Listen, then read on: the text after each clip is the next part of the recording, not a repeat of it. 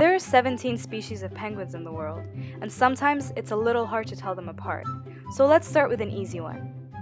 The only penguin that can be found in the Northern Hemisphere, the Galapagos penguin. If you haven't already guessed, the Galapagos penguin is endemic to the Galapagos Islands, primarily on the islands of Fernandina and Isabela.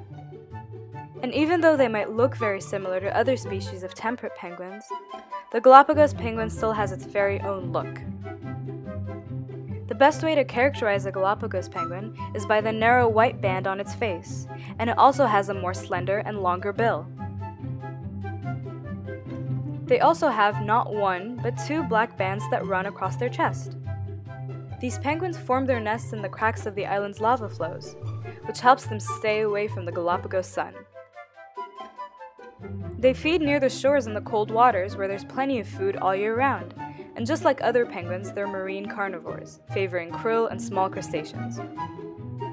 There may be a lot of penguin species out there, and they may all look similar, but now you can differentiate at least one.